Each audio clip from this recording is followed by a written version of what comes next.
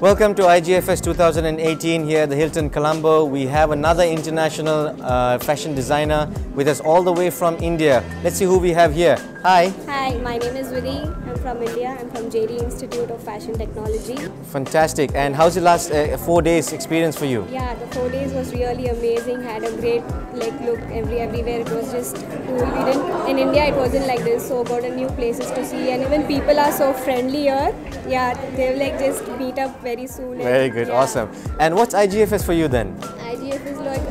Like I had a first platform like this, which was amazing. I hope I get more platforms like this, and it was just they showed me everything in this, and Sri Lankan people are really good. Fine. Thank you. I'm going to wish you all the best. Right. Thank you very much.